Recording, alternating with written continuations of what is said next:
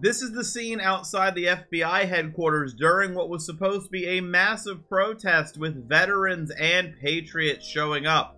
No one showed up. Now, on to 1776. From what I have read online, their porta potties are now open to the public, the ones they had in DC, and there's a line. So it sounds like if 1776 had simply opened those porta potties so the public could use them, they would have gotten a bigger audience they did their entire time in DC. Literally, their protection over their porta potties might have doomed them to have no interaction with people, and that is hilarious. Now, there is a big split in 1776. People do not want to go back to Bunker Hill. That's very obvious. X-rays heading up to Niagara Falls. A significant number, which remember, there's not many people in 1776, so any is a significant number, are staying at Burke Lake. They're going to be paying for their own camping space, their own gas, and their own food to go do January 6th stuff. Like, go to those little, like, nightly things. Basically, that Santa went to that and basically lost part of his cult to it, from what it sounds like. But they are to still have their Constitution classes, which are done by non-historians that are basically just fanfic. Uh, that will be Monday. That's still supposed to be planned.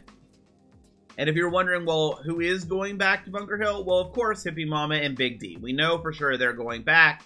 Uh, this, by the way, is the truck that was bought with Big D's legal funds. Uh, yes, they did put decals on it, as you would expect. So, just so everyone is aware, it wasn't like a a, a, beater truck to get them here or there. It wasn't a u like a, like a really rough used truck they got cheap. This is what they bought. Okay, Let, let's get that clear. This is what they use the legal money for. And you might be wondering, well, what is Big D doing now that he's back in Bunker Hill? Well, why don't we watch Defender of Ants? I'll link him in the comments, by the way. Let's watch Defender of Ants and see how Big D is doing. So this is the, uh, I guess, the important work that 1776 needs to do.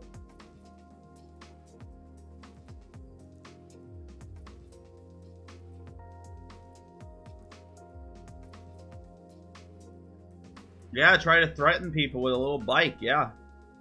Now, am I wrong?